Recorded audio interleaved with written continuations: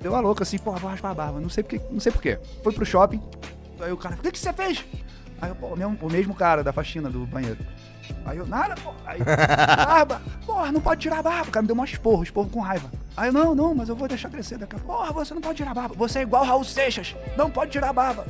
Só que aí depois eu fui ver, o Raul Seixas também já tirou a barba, pô. Mas eu entendi, eu entendi a, a crítica, né? Tive um problema de alopécia. Que foi, que foi é, a falha por estresse. Falha pode ser na cabeça. Ah. E era no canto do bigode. Não dava certo a pomada. Raspava o outro lado. Ih, perigoso, perigoso.